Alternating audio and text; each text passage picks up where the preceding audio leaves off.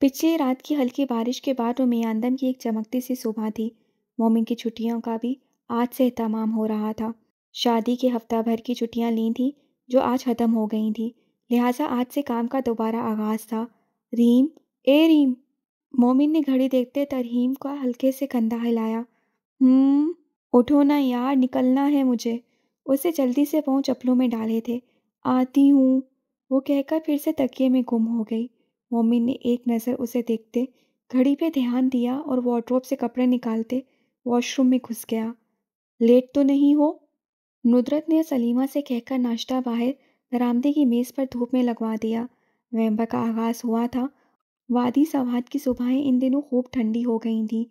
धूप में बाहर बैठना अच्छा लगता था। जी लेट नहीं हूँ और वैसे भी आज पहला दिन है। आराम से जाऊँ तो फ़र्क नहीं पड़ेगा। मोमिन ने कुर्सी घसी घसीटी। अबू सो रहे हैं। नहीं, काफ़ी देर हुई, जाग गए। चाय पी चुके। मेरी तो सारी रात वक्फे वक्फे से आँख खुलती रही कि मोमिन ने ऑफ़िस जाना है। रुदत मुस्कुराते हुए बता रही थी। मोमिन उनकी मोहब्बत पर मुस्कुरा दिया, लेकिन अंदर ही अंदर बेचैनी सी महसूस की। सलीमा ने पराठे लाकर सामने रखे तो मोमिन ने उन्हें रोका। ज़रा तरहीम बीबी को आवाज़ दे दे, अम्मा। सोने देते। रुदत ने टोका, लेकिन मोमिन को अच्छा नहीं लग रहा था। सलीमा ने दो तीन बार रीम को आवाज़ दी तो वो बातिल न हौसता उठ ही गई। मोमिन ने उसे रात ही कहा था कि कल से वो भी जल्दी उठ जाया करे। जी अम्मा, आ रही हूँ। उसने हरगिज़ दिल ना चाहते हुए भी ज़बरदस्ती खुद को धकेला और जिस वक्त फ्रेश होकर बाहर आई, मोमिन जाने के लिए गाड़ी की चाबी उठा चुका था। एक खामोश नज़र रीम पर डाली, लेकिन वो मुँह बसोरते कुर्सी पर ढह चुकी थी। तवज्जा भी मोमिन की जानिब बिल्कुल ना थी। मुश्किल हुई ना उठने में? नुदरत ने प्यार से पूछा तो उनके कंधे पर लुढ़क गई। हाँ तो और क्या मामी? मोमिन ने ही कहा कि सुबह जल्दी उठ जाना। मैंने थोड़ी ना ऑफ़िस जाना है। हाँ भाई, क्या ज़रूरत है इस तरद्दुत की?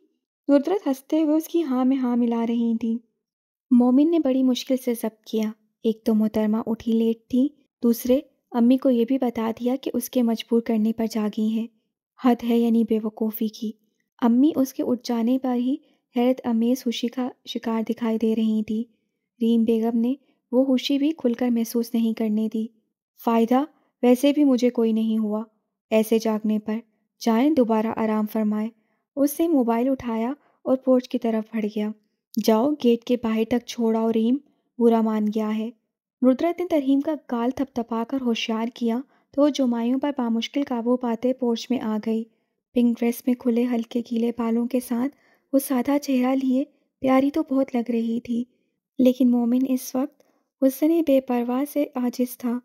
उसे ज़िम्मेदार बीवियाँ पसंद थीं और तरहीम के बचकाना रवैये को देखते हुए उससे हमेशा यही सोचा था कि शादी के बाद वो खुद उस पर मेहनत करेगा। तब उसे यकीन था कि वो उसे बदलने में कामयाब हो जाएगा। पर ज़िम्मेदार बनाने की ये पहली सुबह शादी के हफ़्ते भर बाद मोमिन को अपनी पहली नाकामी नज़र आई। वापसी कब है मोमिन?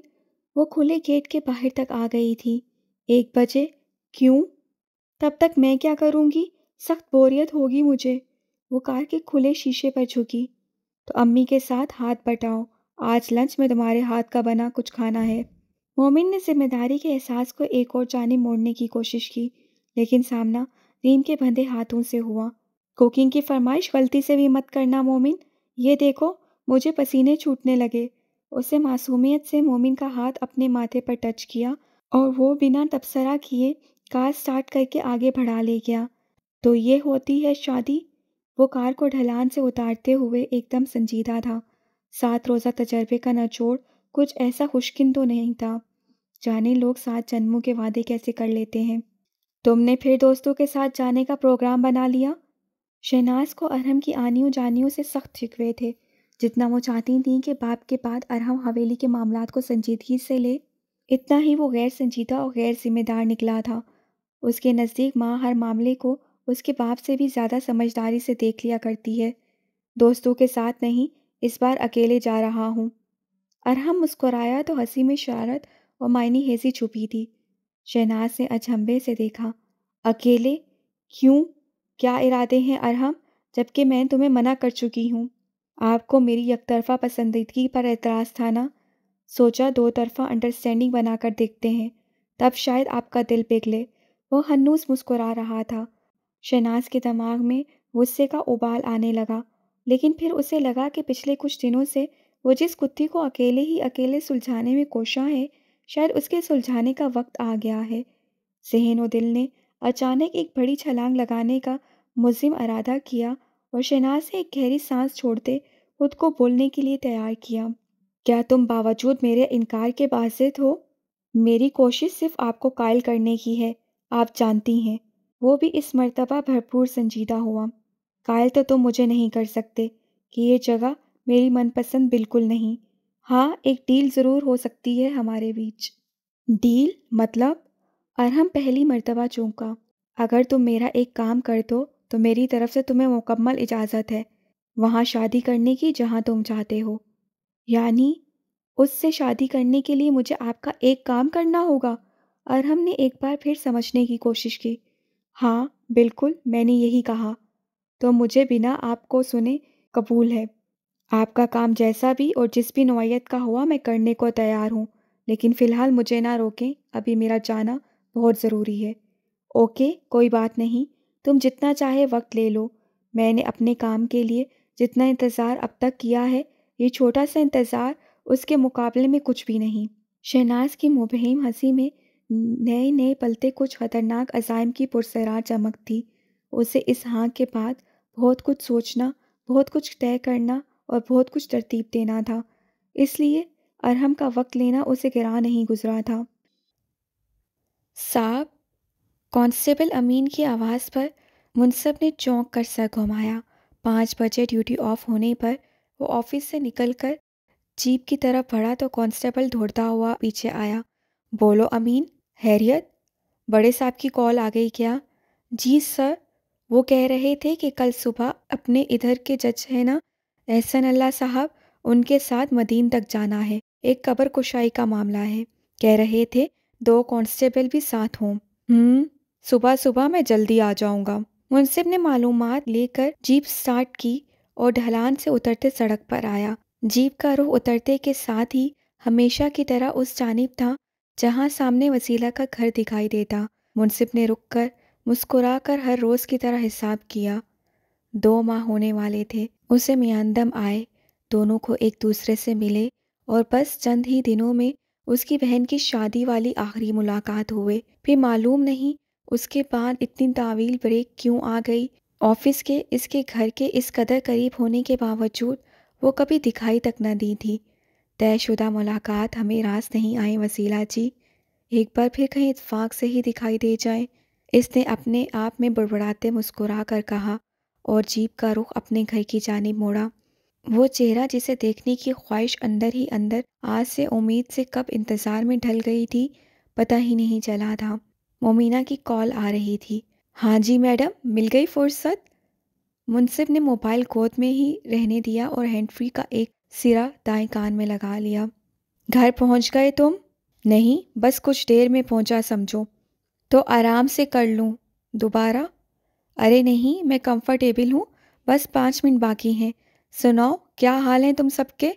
सब ठीक, शुक्र है। रमशा से तो रोज़ाना बात हो जाती है। तुम ही फ्री नहीं मिलते। तो अब आ ही जाओ, मिलना मिलाना, घूमना फिरना सब कर लेंगे। हाँ बस स्कूल की छुट्टियाँ तो चल रही हैं, पर अनीस कुछ कंस्ट्रक्शन के काम में बिज़ी रहे। अब फ्री हो गए हैं तो कह रहे थे, हफ़्ता दस दिन के लिए छोड़ आऊँगा तुम्हें। हफ़्ता दस दिन भी कम है, पंद्रह बीस दिन तो रहो।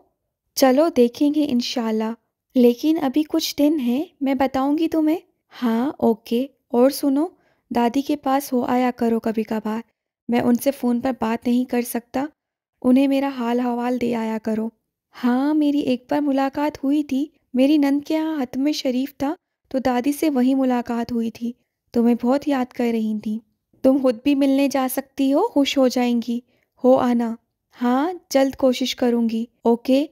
शहीर को प्यार देना। बाय। ओके, तुम भी अपना ख्याल रखना। बाय। अरे अरे, तुम किचन में क्या कर रही हो? सलीमा कहाँ है?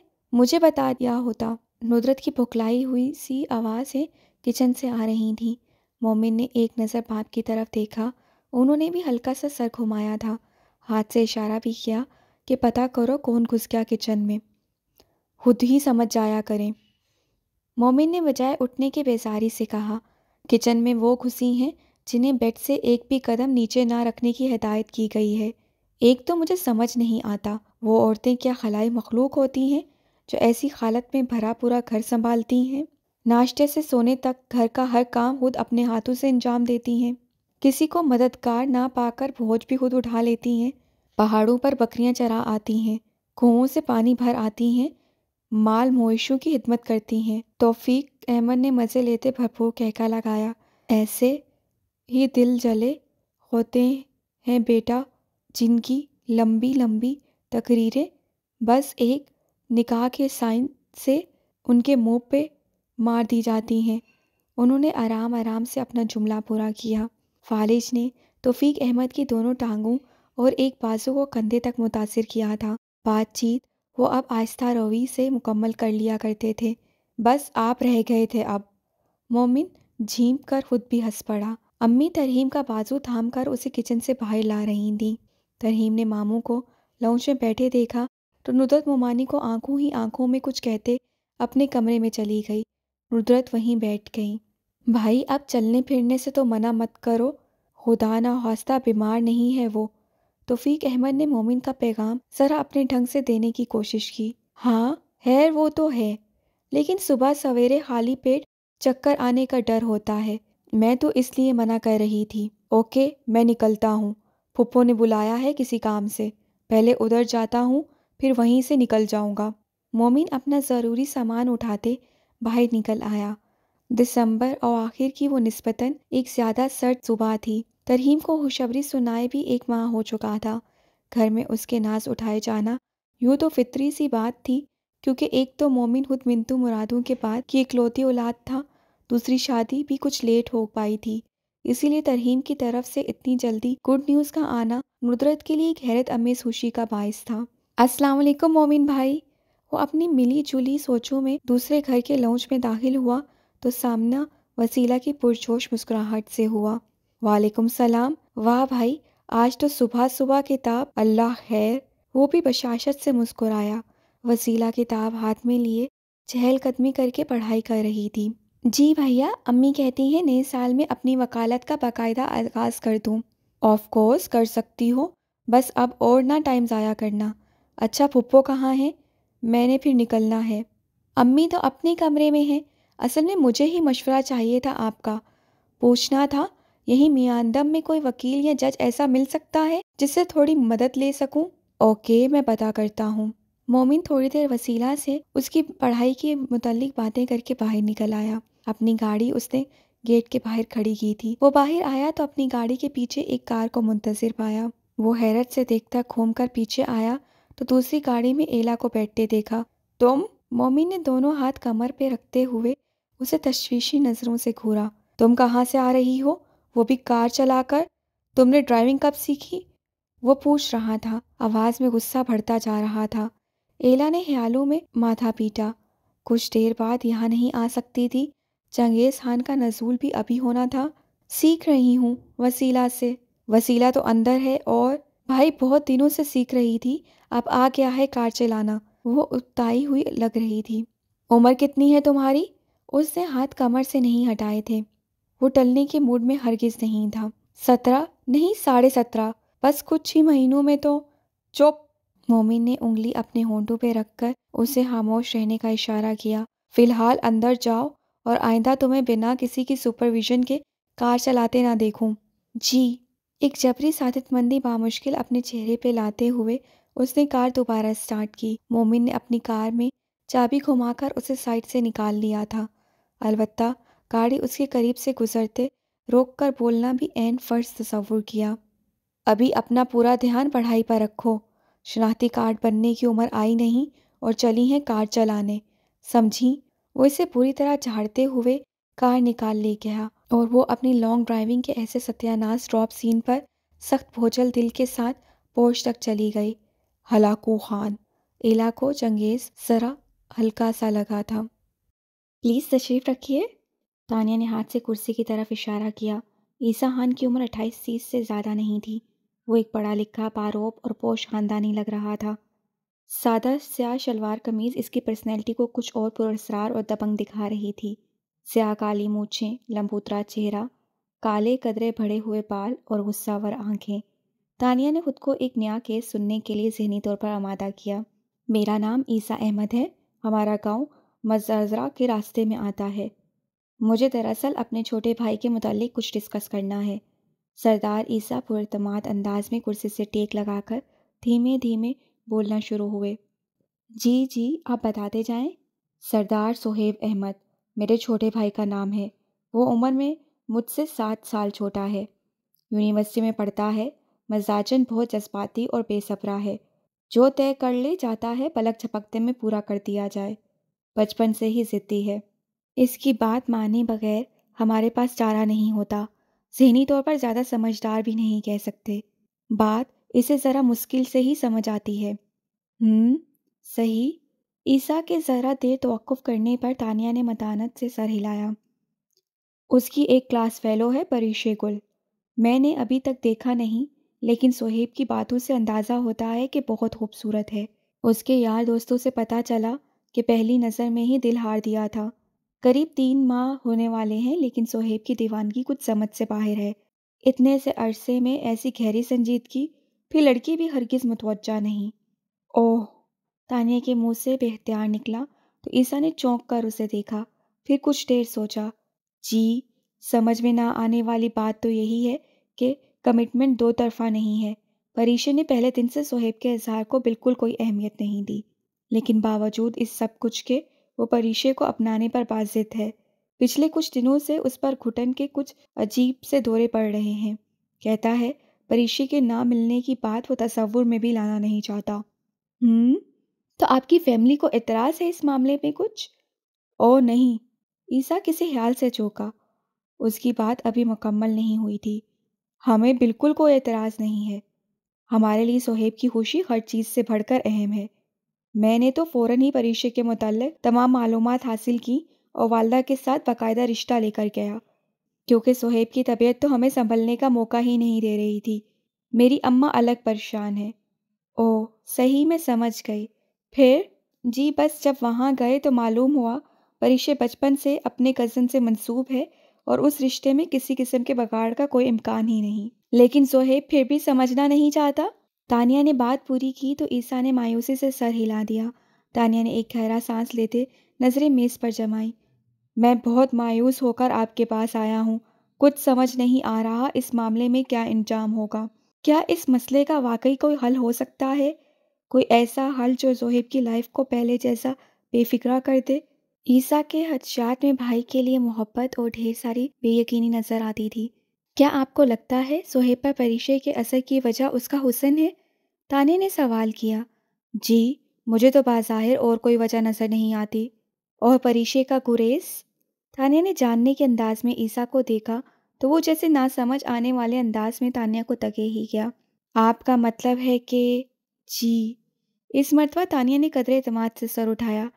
आप बता रहे थे कि सोहेब को इनकार करना आपके लिए मुश्किल हो जाता है और इसकी बात माने बिना कोई चारा नहीं होता। तो मुझे लगता है ऐसे बच्चे लाहासिल के मायने नहीं जानते, जिन्हें बचपन से हर वो चीज़ मुहैया कर दी जाए, जिसकी उन्होंने ख्वाहिश की।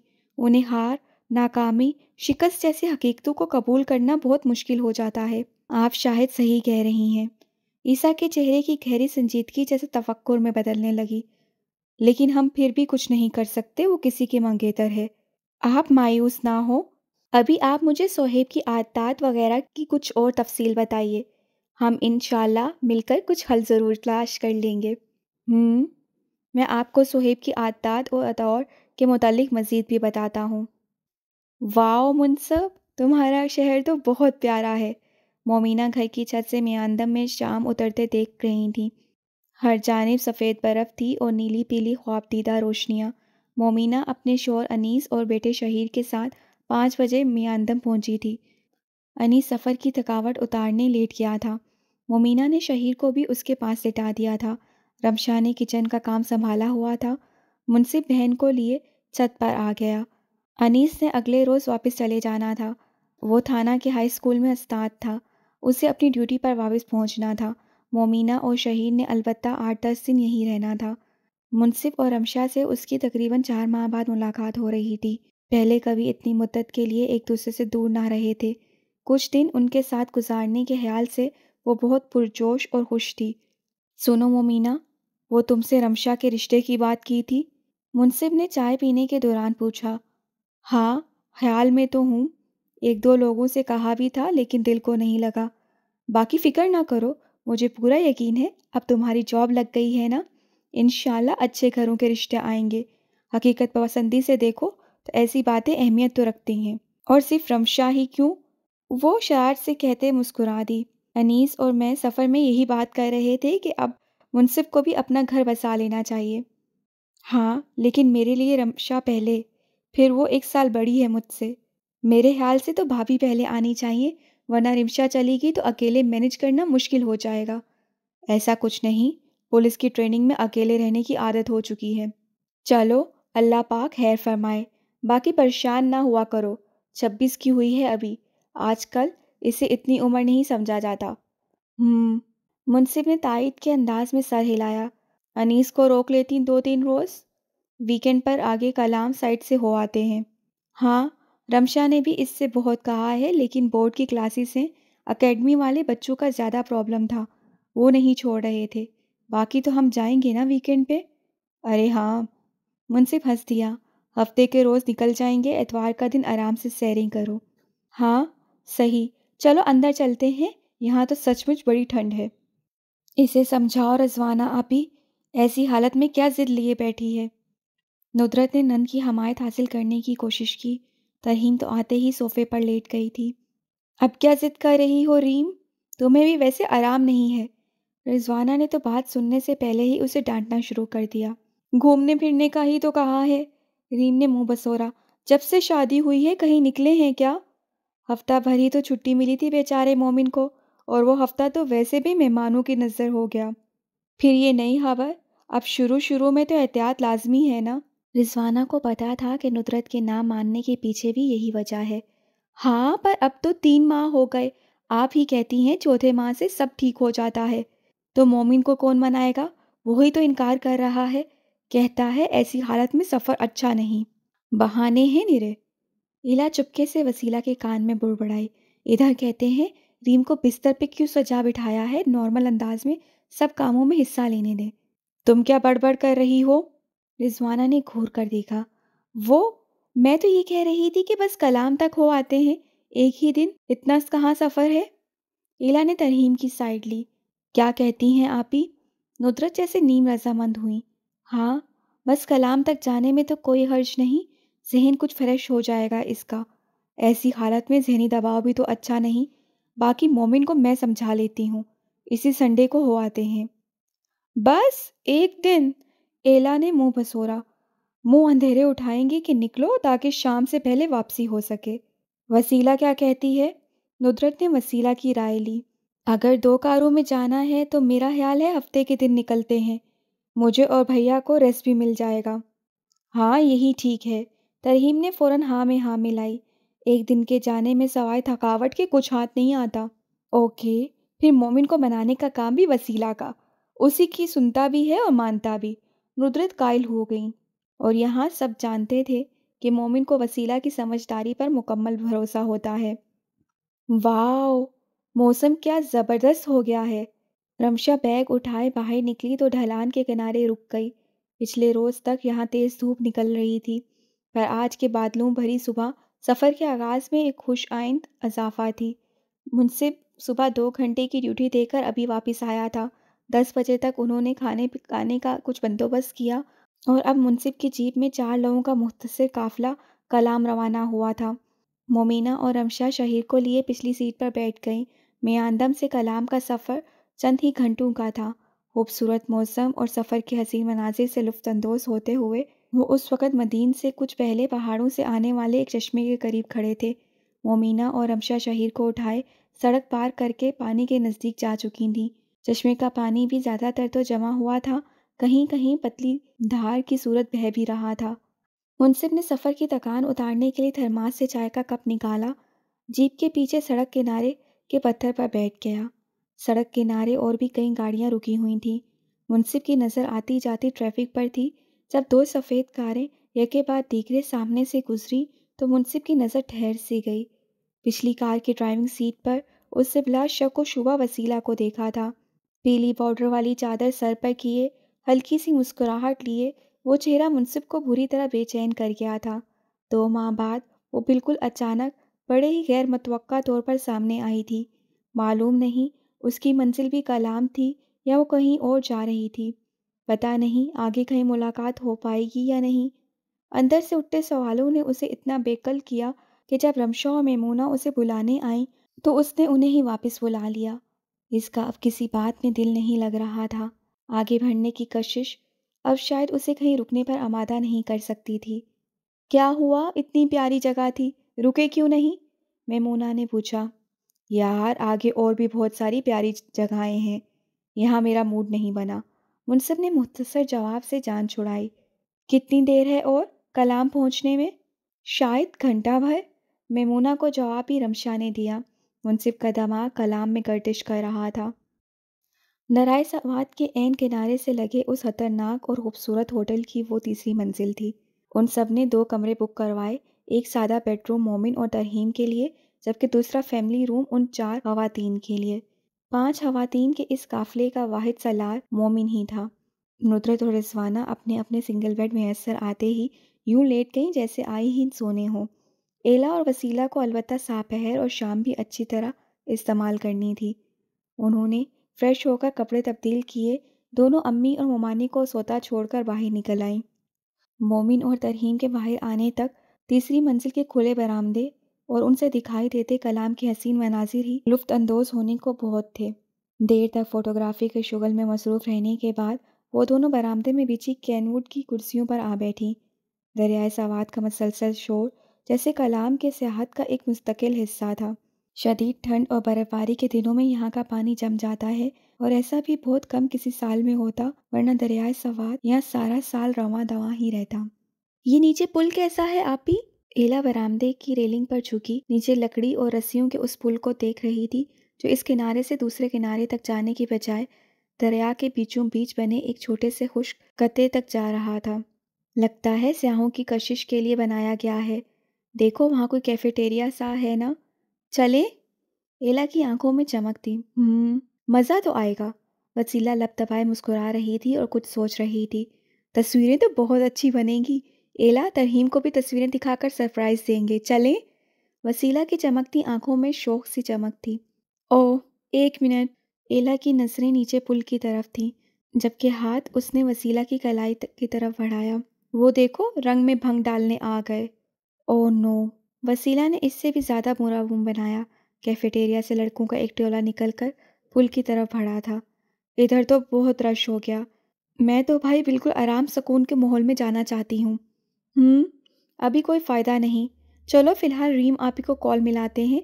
मोमिन भैया अगर सो गए ना तो आज की शाम गारत हो जाएगी। हाँ मिलाओ कॉल।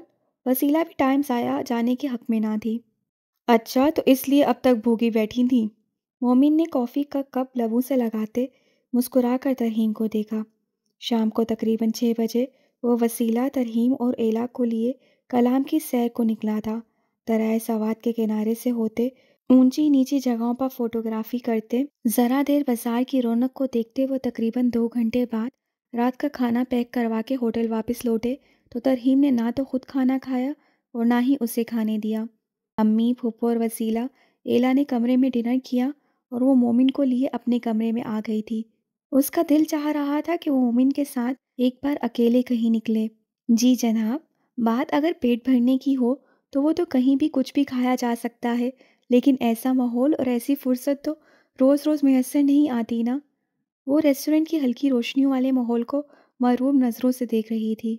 तो उस मासूम का क्या कसूर, जिसकी भूख भूख की धाइयाँ एक मजबूर बाप कितने घंटों से बर्दाश्त कर रहा है? मोमिन मुस्कुराकर बोला, मोमिन बहुत कम कभी ऐसी अपनायत और कंसर्न का इजहार करता था। वो मोमिन के साथ अकेले निकलने के चक्कर में वाकई बड़ी देर से भूखी थी। बड़ी हैरान हो रही हो? वो कुर्सी से टेक लगाते इसी नरम लहजे में मुहातिब था। क्या मैं बाप बनकर नहीं सोच सकता? जी हाँ वाकई हैरत हो रही है, लेकिन इससे भी बढ़कर खुशी हो रही है। माँ तो हर हाल में बच्चों का ख्याल रखती ही है।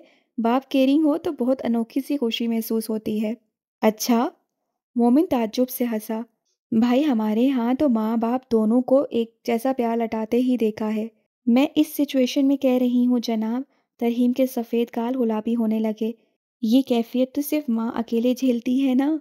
तो बाप का सिर्फ़ एहसास करना भी उसकी हसास तबीयत को ज़ाहिर करता है। हमारे यहाँ तो मेरे क्लोतेपन की वजह से बच्चों की बड़ी कदर है। जी, तभी तो नुदरत मामी ने हम तीनों बहनों को औलाद जैसी मोहब्बत दी है। अम्मी बहुत खुश हैं, रीम। तुमने महसूस किया? वो आजकल कितनी टची हो रही हैं। जी, मोमिन, मुझे अंदाज़ा है। उनकी खुशी का कोई ठिकाना नहीं। इस रोज़ कह रही थी, मैंने जो उंगलियों पर दिनों का हिसाब रखती हूँ तो बुरा मत मनाया करो। मेरे लिए इंतज़ार वाकई बहुत कठिन हो रहा है। अच्छा मोमिन हंस पड़ा। दादी बनने के लिए उतावली हो रही हैं। वैसे फ़ायदा बहुत है तुम्हें। आराम से बच्चा उनकी गोद में डालकर सोती रहोगी। हाँ ना तो और क्या? मुझे तो इतनी नींद आती है, मुझसे तो रात वात को भी संभाला नहीं जाएगा। लाहौला वला कुवत ये तो ज़रा पहले बच्चे का वक्त है, तुम आखिर करोगी क्या रीम? मोमिन ने बाकायदा कानों को छुआ और वह कहका लगाकर हँसी, नींद नींद और ढेर सारी पुरसकून नींद। ए एला, नीचे पुल तक आती हो? मुँह अंधेरे, वो वसीला थी जिसने एला के कान में सरगोशी की। रजवाना और नुदरत तो सुबह की नमाज़ पढ़कर दोबारा सो चुकी थी। लेकिन वसीला को बावजूद देर तक लेटे रहने के भी नींद नहीं आई तो खिड़की से आती हल्की रोशनी देखकर वो उठ बैठी, चुपके से एला को जगाने की कोशिश की, लेकिन उसने आँखों को ज़रा सा खोलकर वसीला को देखा, फिर होंठ सुकोड़ कर नफ़ी में सर हिलाते हुए करवट बदल गई। वसीला का अपना इरादा बाहर निकलने का बन चुका था, इसलिए चेंज करके चुपके से बाहर निकल आई। मोमिन और तरहीम शायद आराम कर रहे थे, उनका कमरा भी बंद था। उनका होटल दरियाए सवाद के एन किनारे पर था। आस पास हसीन मनाजिर के बहतात होने के बायस होटल के चारों जानब भी खुले बरामदे थे। वसीला ने तीसरी मंजिल से नीचे देखा। होटल के बाएँ हाथ तंग ढलाई, रास्ता दरिया के बीचों बीच बने इस छोटे से आइलैंड को जा रहा था, जिस पर बने रस्सियों, बाँस और लकड़ी के तख्तों वाले पुल ने पिछली शाम वसीला और इलाक की भरपूर तवज्जा ली थी। पुल इस वक्त मुकम्मल हाली पड़ा था। वसीला ने वहाँ तक जाकर फोटोग्राफी करने का सोचा और सीढ़ियाँ उतरते नीचे आ गई। वसीला ने अपनी नीली शॉल सर पर लेते रुख पुल की तरफ़ किया। पुल के नीचे शोर मचाता शफाफ दरियाए सवाद था।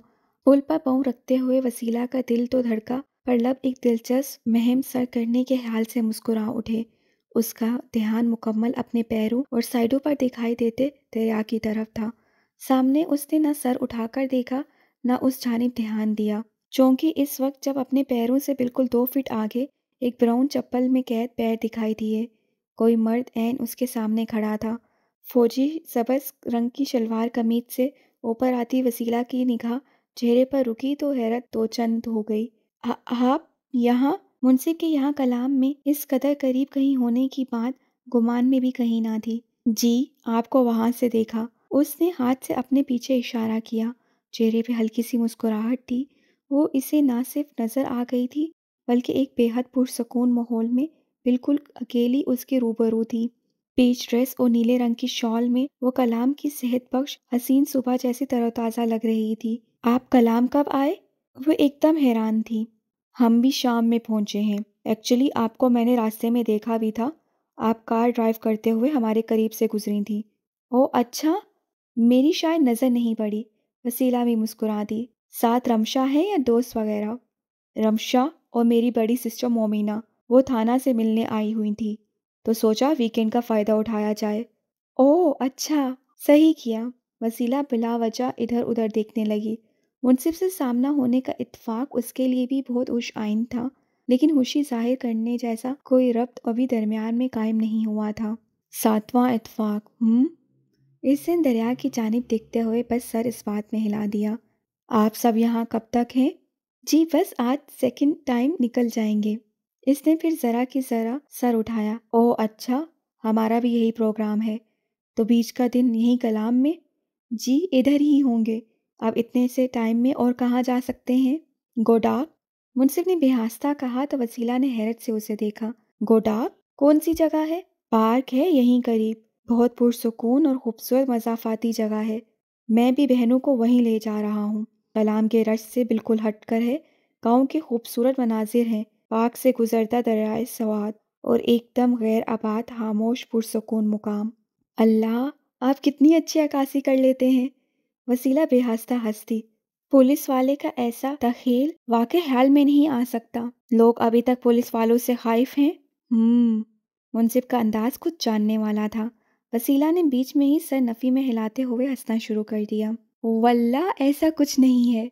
पुलिस वालों के मुतालिक राय बिल्कुल बदल चुकी है, बल्कि संजीदगी से मुंसिफ को देखा। असल में मुझे पुलिस वालों से कभी कोई शिकायत नहीं रही, क्योंकि ना तो कभी वादसा पड़ा और ना ही खुदा ना हास्ता कोई नाखुशगवार वाक्य। लेकिन मालूम नहीं क्यों, मेरी अम्मी पुलिस वालों से हाइफ, बल्कि खौफजदा रहती हैं। उनकी जबानी बचपन से सुन सुनकर एक इमेज बन गया था। ओ मुंसिफ ने सर हिलाया। हो सकता है उनके साथ कोई नाशगवार वाक्य पेश आया हो। जी, हो सकता है। आप शायद आगे दूसरी जानब जा रही थी। मुंसिफ थोड़ा सा साइड को हुआ। वो उसकी राह रोक कर खड़ा था। ओ नहीं, मेरा ज़्यादा दूर तक जाने का इरादा नहीं था। होटल से अकेली निकली थी तो अंदर ही अंदर थोड़ा डर गई थी। वहाँ ऊपर हमारे रूम्स हैं उसने वहाँ पुल से ऊपर इशारा किया, लेकिन ऊपर उठी निगाहें वहीं रुकी रह गईं। ऊपर बेलकोनी में एला खड़ी थी। देखे जाने पर उसने शौकी से हाथ हिला दिया था। वसीला अलबत्ता बुरी तरह झींप गई। इतनी देर से वो मुनसिब से बिलावजा बोले चली जा रही थी। एला जाग गई है, मैं चलती हूँ। उसे हल्का सा हाथ हिलाते हुए फ़ौरन वापसी की और मुनसिब उसे वापस जाते देखता रहा। सोने के लिए मियांदम क्या बुरा था? मोमिन के हाथ में नाश्ते की ट्रे थी और माथे पर बल पड़े थे। नुदरत और रिजवाना बीक वक्त झीम कर उठ बैठी। और क्या मोमिन भाई? ये दोनों खवातीन अगर घर पर आराम कर लेती तो हमें दो कारों में ख्वार ना होना पड़ता। आपकी कार में रीम, एला और मैं आपके साथ घूमने आ जाते और मुझे भी ड्राइविंग से छुट्टी मिल जाती। वसीला ने भी भरपूर हमायत की। अरे भाई, निकलेंगे हम दोनों भी। अब सुबह सुबह ज़रा ठंडक लग रही थी तो दिल नहीं चाहा। नुदरत ने चाय डालने के लिए थरमास करीब किया। जाना कहाँ है वैसे? रीम को ही ख्याल आया। तुम सभी मिलकर तय करो कुछ। बस ज़्यादा दूर ना हो। रोशनी के ख़त्म होने से पहले वापसी करेंगे, ताकि वसीला को ड्राइविंग में कोई प्रॉब्लम ना हो। मोमिन ने अपना मुद्दा वाज अल्फाज में बता दिया। मोमिन भाई, वो मेरी एक दोस्त बता रही थी, यहाँ कोई गोडक पार्क है, दरिया के किनारे। गोडक? मोमिन ने जहन पर ज़ोर देते दोहराया। मेरा एक कॉलीग भी शायद यही नाम ले रहा था। पूछूँ? उसे ताकीद के अंदाज से वसीला को देखा तो उसने होले से सर हिला दिया। अंदर ही अंदर तो वो घबराई हुई थी क्योंकि उसे मुनसिब ने बताया था। मोमिन ने अलबत्ता इसी वक्त कॉल करके अपने एक दोस्त से मालूम हासिल की और मुस्कुराते हुए वसीला को देखा। कह रहा है, यहीं करीब ही है। दरियाए सवाद का बहुत खूबसूरत और किसी कदर ख़तरनाक व्यू वाह एला ने बेहासा एक्साइटमेंट से दोनों हाथों को आपस में बांधा। मुझे ज़रूर देखना है ये खतरनाक व्यू पता था। मोमिन ने नतने फुलाकर खफी से देखा। हॉरर के लफ्सर बच्चे ही सबसे ज़्यादा उछलते हैं और पेश आने पर सबसे पहले दौड़े भी इन्हीं बच्चों की लगती हैं। तरीम ने कहका लगाकर शोहर की ताकीद की और एला की मोमिन भैया को तो घूरने की हिम्मत नहीं हुई, पर बहन को ज़रूर शिकवा भरी नज़रों से देखा। चलो फिर, देर किस बात की? झटपट तैयारी शुरू करो। मोमिन ने उठते हुए हाथ तरहीम की तरफ़ बढ़ाया और वो भी खुद को संभालती उठ खड़ी हुई। वाह वसीला, तुम्हारी दोस्त से जगह तो क्या खूब बताई है। नुदरत मोमानी ने सताइशी नज़रों से वसीला को देखा और वो बस हल्का सा मुस्कुरा दी। दो चीज़ें ऐसी थीं जो गोडक पार्क को मुल्क के शायद बाकी सभी आम पार्कों से यकसर मुमताज़ कर रही थीं और यकीनन यही गोडक पार्क की खूबी थी। पार्क के दाएँ हाथ पर दरियाए सवाद जैसे एन सीने पर चढ़ा चला आ रहा था। यूँ जैसे पार्क के अंदर जबरन घुस आया हो। एक तरफ़ वो चट्टान से टकरा रहा था और दूसरी तरफ़ पार्क बना दिया गया था। यहाँ दरियाए सवाद चूँकि चौड़ाई में कुछ सिमट गया था, तभी इसकी गहराई भी ज़्यादा हो गई थी और यही गहरापन यहाँ की खौफनाकी में अजीब से इजाफे का बायस बन रहा था। पानी के ज़्यादा करीब न जाना कोई। रिजवाना ने कहा, एला की नज़रें किनारे के उस ऊँचे बड़े पत्थर पर लगी थीं, जिस पर बैठकर वो खूब सारी सेल्फीज लेना चाहती थी। यार वसीला, आपी मुझे यहाँ बहुत सारी तस्वीरें बनानी हैं। एला ने उसके कान में सरगोशी की। चुप रहो। सुना नहीं अम्मी क्या कह रही हैं? वसीला चटाइयाँ लेकर पार्क के आखिरी किनारे की तरफ़ बढ़ गई। वहाँ धूप भी अच्छी थी। खाने पीने का सामान उन्होंने रास्ते में ही लिया था। अम्मी और नुदरत मोमानी को तो बस बैठने का टिकाना चाहिए था। बहुत देर तक सब वहीं बैठकर खुशगपियाँ करते रहे। तहरीन ने पानी को करीब से देखने की ख्वाहिश की तो मोमिन ही माँ की हिदायत पर उसका हाथ पकड़कर वहाँ तक चला गया। चलो आप ही पार्क से निकल चलते हैं। मोमिन की मौजूदगी में तो उसे हर किस दरिया के नज़दीक नहीं जाना था। तभी उसने सोचा कि पार्क से निकलकर वो कहीं और कोई व्यू ढूंढेगी। अम्मी, हम ज़रा पार्क से बाहर आसपास का इलाका देखने जा रहे हैं। वसीला ने एला की जिद देखते नरमी से बात बनाई। हाँ ख्याल से। अम्मी की इजाज़त मिलते ही दोनों बाहर निकल आईं। पुरसकून से इस खूबसूरत से इलाके में दूर दूर तक कहीं भी कोई दिखाई नहीं दे रहा था। चलते चलते वो एक छोटे से पुल पर आ गईं। इसके नीचे से दरिया का पानी गुजर रहा था। पुल क्रॉस करके वो दोनों दूसरी जानब आईं तो ऊपर पहाड़ी जैसा एक रास्ता जा रहा था। एक बच्चा अपने घरे को हाँकते हुए ऊपर चढ़ा रहा था। वसीला ने मुस्कुराकर एला को देखा। आज तो मैं यहाँ ऐसी अनोखी वीडियोस बनाकर जाऊँगी कि कलाम का ऐसा व्यू किसी डॉक्यूमेंट्री में भी किसी ने ना देखा होगा। एला इस वक्त वाकई बच्चों की तरह उछल रही थी। सब मोमिन भैया से दूरी का असर है। लगता है मुझे ही मोमिन भैया बनना पड़ेगा। वसीला हँसते हुए उसे उंगली उठाकर तंबिया कर रही थी। कोशिश भी ना करें उस मुच्छर जैसा बनने की। एला बहुत गुस्से में उन्हें मुच्छड़ ही कहा करती थी। मुझे भी इस पहाड़ी रास्ते पर चढ़ना है, आप। ही यहाँ से उस गाँव का नज़ारा कितना खूबसूरत होगा। वहाँ से तो बहुत कुछ ऐसा देखने को मिलेगा जो हम यहाँ से नहीं देख सकते। वो गधे वाले बच्चे की तरफ़ इशारा करते हुए बाकायदा आगे भी बढ़ गई। ला महला वसीला कंधे उचकाकर उसके पीछे चल दी। खुली खुली धूप जिसम को सुकून आवर हरारत बख्श रही थी। वसीला ने नहायत अच्छे मूड में मोबाइल ऑन करके खुद भी तस्वीरें बनाना शुरू की। एला ने एक दो बार सामने से रोककर उसकी तस्वीरें भी बनाई। कलर वैसे आपने बहुत खूबसूरत पहना है आप भी। बहुत स्मार्ट हैं आप। सब्ज़ी की मुनासबत से क्या ज़बरदस्त लग रहा है आप पर ये कांसी रंग। काश मुझे भी थोड़ी अकल आ जाती। अब ये क्या ब्राउन रंग पहनने का दिन था? उसे अपनी चॉइस अब बहुत खराब लग रही थी। तुम भी बहुत अच्छी लग रही हो, पागल। ये देखो, वसीला आगे बढ़कर उसे इसकी तस्वीरें दिखाने लगी। हाँ यार, वो अपनी ही तस्वीर की ब्यूटी को निहारने लगी तो वसीला ने हंसकर सर हिला दिया। ए, आप वो देखो ना, वो तुम्हारे वर्दी वाले नहीं? एला ने एक जानब इशारा किया तो वसीला चौंकी। नज़रों के ताकुब में वाकई सामने से मुनसिब और रमशा चले आ रहे थे। वसीला को तुम्हारे कहने पर एला को सर्जनिश करने का मौका भी नहीं मिला और वो दोनों इनके करीब आ गए। वट ए कोइंसिडेंस वसीला, एला, आप दोनों यहाँ?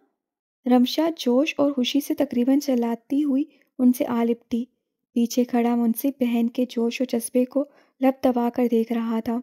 वाकई, बहुत अजीब इतफाक है। मियांदम से इतनी दूर एक साथ एक ही जगह। लेकिन है, कमाल है। बहुत खुशी हुई आपको यहाँ देखकर। एला ने रमशा को बाजू में लपटा रखा था। और कौन कौन है साथ? सब हैं अम्मी, मुमानी, तहीम, मोमिन भैया, लेकिन उधर पार्क में। वसीला ने हाथ से इशारा किया अच्छा हम भी कुछ देर पहले तक वहीं थे, लेकिन मेरा भांजा बहुत तंग कर रहा था तो घूमने फिरने बाहर निकल आए। रमशा ने मजीद बताया तो वसीला और एला दोनों को हैरत हुई। आपका भांजा? तो अभी कहाँ है? वो लोग जीप में हैं। मेरी सिस्टर मोमिना आई हुई हैं मिलने। आए ना वसीला, आप लोगों को उनसे मिलवाऊं? रमशा ने वसीला का हाथ थामा। मैं तो कहती हूँ, सब पार्क में चलते हैं। सबसे मुलाकात हो जाएगी। मेमूना आपी को भी बुला लें। एला ने रमशा की ताकीद चाही, लेकिन वसीला ने बेहास्ता मुनसिफ को देखा। अंदाज में कुछ ऐसी घबराहट थी कि मुनसिफ चौंक सा गया। वसीला कुछ कहना चाहती थी। मुनसिफ ने बाकी दो की नज़र बचाकर हल्का सा आबरू सवालिया अंदाज में उठाया तो वसीला ने सर को नफ़ी में हरकत दी।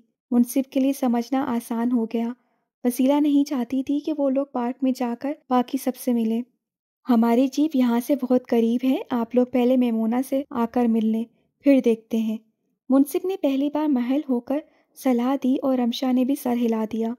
एला और वसीला जीप के नज़दीक आई तो मेमोना उन्हें देखकर बाहर निकल आई। इनसे मिलो मोमिना, मियांदम में हमारी पहली दोस्त। रमशा ने सलाम दुआ के बाद मुस्कुराते हुए वसीला को बाजू के घेरे में ले लिया। ये वसीला है और ये इनकी छोटी एला और ये हमारी बड़ी सिस्टर मोमीना है। थाना में होती हैं, आजकल हमसे मिलने आई हुई हैं और ये इनका शरारती बेटा शहीर। रमशा ने बात करते करते भांजे को अपनी गोद में ले लिया। बहुत क्यूट है, माशाल्लाह। एला को बच्चे बहुत पसंद थे, वो बेहतियार शहीर की तरफ़ लपकी। अभी तो कुछ दिन यही है ना मोमिना? तो हमारी तरफ़ ज़रूर आइएगा। वसीला ने बहुत दिल से कहा, जी, बिल्कुल। तरहीम आपी की शादी को तो पाँच माह होने वाले हैं। हमारी दोबारा मुलाकात ही नहीं हो पाई।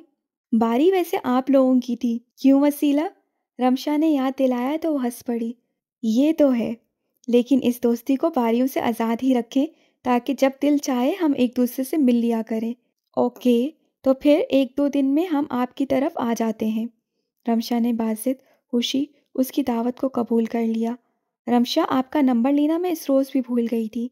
याद है, हम जॉब वगैरह के मुतालिक बात कर रहे थे। एला ने याद दिलाया और रमशा ने भी फ़ौरन अपना नंबर दोहरा दिया, जिसे एला ने ही अपने मोबाइल में इसी वक्त महफूज कर लिया और अपना नंबर रमशा को नोट करवा दिया। वसीला खामोशी से खड़ी देखती रही। दूर मुनसिब नंबर्स के तबादले को बड़ी मैनी हेज मुस्कुराहट से देख रहा था। इन्हीं दो की बदौलत दो फैमिलीज़ आपस में एक नई खूबसूरत दोस्ती के रिश्ते में बंध रही थी और इन्हीं दोनों के पास एक दूसरे का नंबर नहीं था। तो ये भी शायद इतफाक़ से कभी मुंसिफ रमशा के पीछे से हटकर अपनी जीप के करीब आया था। पिछली सीट से कोई शॉपर उठाते, चुपके से जेरलब कहा, जिसे सिर्फ़ वसीला ही सुन सकी थी। इस मरतबा वो भी हँसी नहीं रोक पाई। अलबत्ता मुंसिफ की जानब देखा नहीं गया। एसी को सबसे ज़्यादा शौक हो रहा था जाने का। रजवाना का परेशान हाल चेहरा पूरी तरह उतरा हुआ था। नुदरत भी बेचैनी से लब काट रही थी। तरहीम बेड पर नीम दराज मुँह बनाए इन दोनों को बारी बारी देख रही थी। जब धाड़ से दरवाज़ा खोलकर पहले एला और पीछे वसीला अंदर दाखिल हुई। एला के हाथ में दो कार्टून फेस के कुशन दबे थे। चेहरा खुशी और जज्बात से तमतमा रहा था। पीछे आती वसीला के होंठों पर भी हँसी थी, लेकिन इसकी खुशी एला की दीवानगी से बहुत कम थी। याहू! इससे चीख कर खुशी का नारा लगाते तरहीम के नज़दीक बेड पर छलांग लगाकर आलती पालती मारी, क्या पागलपन है? रिजवाना ने आखिर करीब आने पर उसके सर पर एक जमा दी, होश में हो तुम? हाय, अब है नींद किससे? अब है चैन कहाँ? वो मधोशी से अपने लाए कुशंस पर गिर गई, अम्मी, सच बताएँ, डॉक्टर ने यही कहा? वसीला के चेहरे पे भी खुशी फूटी पड़ी थी। वाकई ट्विंस, उससे निचला लब दांतों में दबाते शोखी से तरहीम को देखा। लेकिन उसकी उतरी सूरत देखकर एकदम संजीदा हुई। क्या हुआ? यहाँ सब परेशान क्यों हैं? वसीला ने बारी बारी तीनों की सूरतों को जांचा।